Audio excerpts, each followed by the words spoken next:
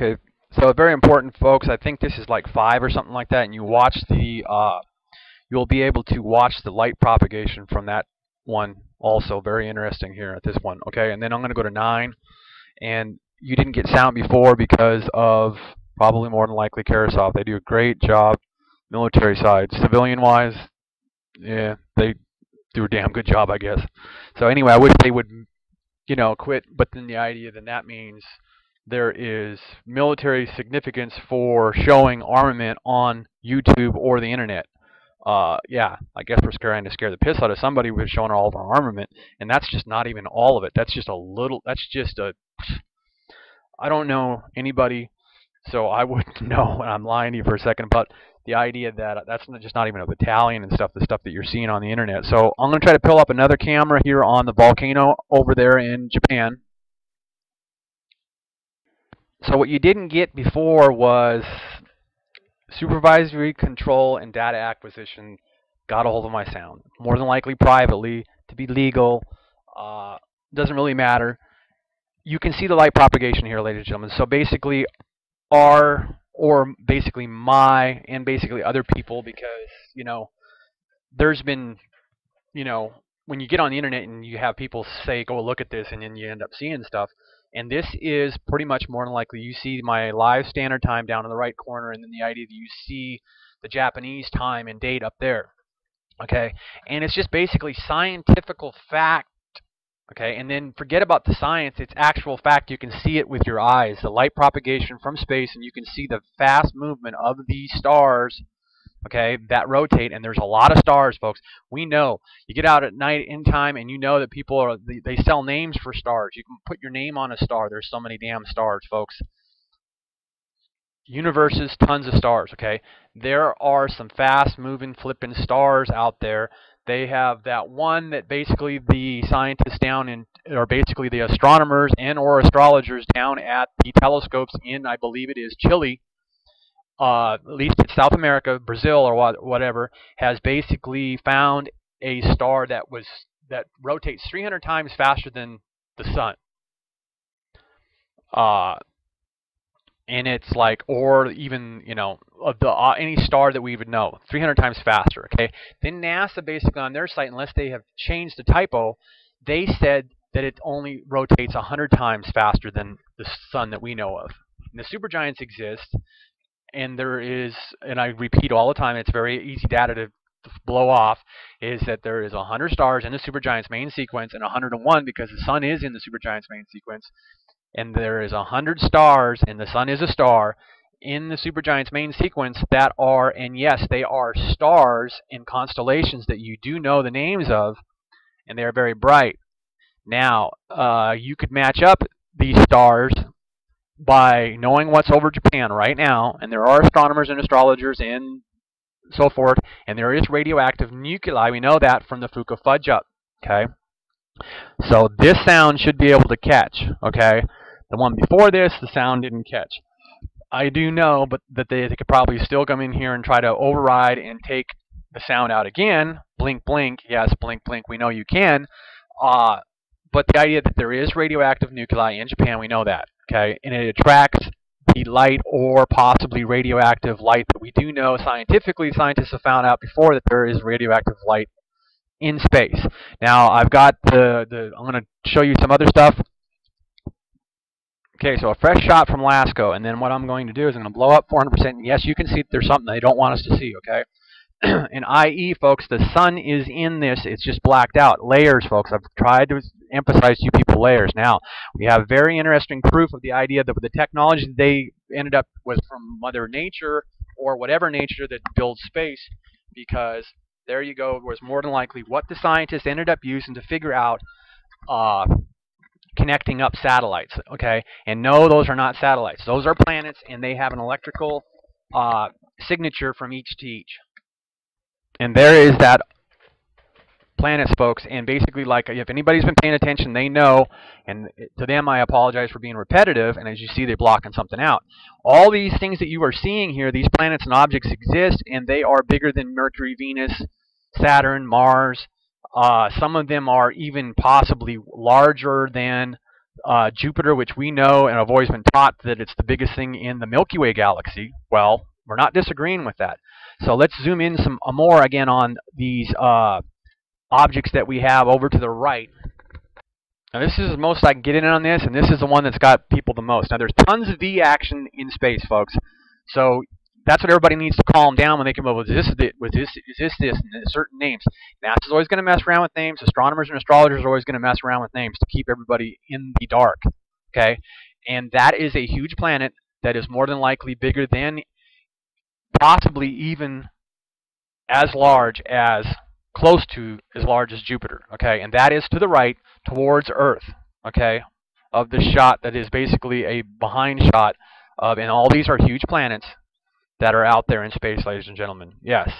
And i.e. that when the uh, astronauts went to Apollo and capsule and all that, whether they were there or not, all this stuff exists and didn't show up on the cameras when they showed us footage from way back when we were little munchkins, okay? There's a very interesting one also, folks and we end up with so many stars out there in space that yes, there are stuff that end up looking like other things that we've seen. Okay, so these objects are all there on LASCO, and this is the one that basically shows you a lot that they do overlays, and all this stuff's out there, and there is that that they don't want you to see. And more than likely, that is our large mass that we've always seen, and I'll take you to an old video of a HelioViewer, and not saying that I have something on that, but there are a lot more than just that one that does that electrical connection out there. And we know Cygnus whatever and there are objects in space that put off sound, and even the sun, you can hear audio on the sun if you go look all the data for the sun, folks. You can actually listen to the sun, I think, even live on the internet. Okay. So blow in here to Secchi, H1 from the 23rd is the newest I could get. I got the 24th on, I think it was uh, behind, okay? But I, I could be wrong on that. But I, I know that I couldn't pull up the 24th on some stuff, okay? And uh, you'd have to go to Beacon. I'll see if I got time to go to Beacon. I would think that it's probably still uh, Mars or Mercury that's sitting there. Okay, really don't think that that's Jupiter. And as you can see, humongous CME action, and they warn us about it. That there's like whatever letter nine and stuff was while, and then this is going on. So there's going to be continued activity at the sun, ladies and gentlemen. And the idea to get everybody to look, there has been all kinds of operation of operandi of quasi trying to get you to look anywhere else but looking at SOHO and paying attention to what's going on with the sun and the supergiants, okay? And yes, there's tons of other stuff going on in space, i.e. that volcano activity that I showed you a little bit earlier, okay? And there are tons of stars and or planets that rotate around very, very fast out there, okay? And they are like a disco ball, ladies and gentlemen. Look up the history of a disco ball. And I'll see if I can even put something in here on the North Star in here too, because basically our GPS North Star is always going to change over hundreds of years, always, and it's always already known by astronomers and astrologers out there that it does change. It does, yeah, quiet. Uh, mm -hmm, okay. So now, uh, there is your axis, your ass in Antarctica, and then the center over here till you look to the blue area, you see how it's off on there, and we know that the Earth twists like a bullet through space at more than 60,000 miles an hour, and we are going like 66,000 miles an hour of current or of the recent months. Okay, last year, this year. Uh, so, and there's CME action coming in and so forth. So you go to and like we, I just promote. You know, I don't promote them. I don't get any money from them, but it's a fast site to see a lot of information. You got it up there on your toolbar there. You can see. And then so that we seen that light propagation earlier this this week. And then we'll go down and see what's going on with like lower atmosphere and so forth and the sun and we've seen that that's colorized but you do see where the idea that sun's still burning hella hot and to pay attention to the temperatures that you can go read on the data there and as you can see we are lowering down on CME action and I guess that's probably dropped from the 23rd and on because as you just seen that CME would show up and more than likely it would be the higher of all of your data that you're seeing there. So then the drop is to us quieting down here, okay? But that stuff is going to end up hitting, and as you see, there was a nice jump and then a big drop, and that'll end up, everything is equal and opposite reaction, okay? And as you see, weather propagation still in effect, and always will be. Uh, So, and also there is very interesting if you go ahead and pay attention to one of the colorizations that you can go to on one of the sites that Dutch gave you. I'm not going to give it to you because I don't want it to get jammed up too much. If you watch some of Dutch's older videos on Jetstream and uh, watching uh, radar and stuff, you can go ahead and see a propagation of a whip that whips up at Japan and then over to where uh, the Russian uh, accident was years ago, which basically they've changed the name of that and so forth and so on. And it's over there in the Ukraine, and uh, Chernobyl has been changed a little bit in spelling and so forth and so on, and it still exists. It's not, it didn't get blown off the map. It's just highly radioactive. And once you mine for radioactive materials and so forth and so such, it's attracted, and ID space radioactivity attracts to the volcano in Japan that you showed at the beginning of this video. And here's your axis movement there.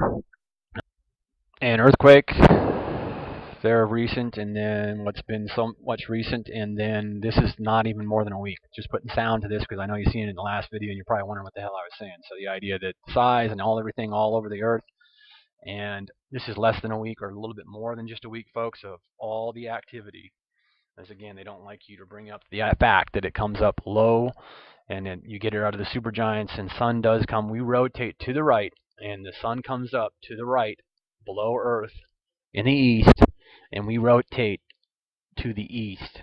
Okay, and that's how the clock always works. Okay, and then all this supergiants and all this sun activity and all this earthquake activity within the last week.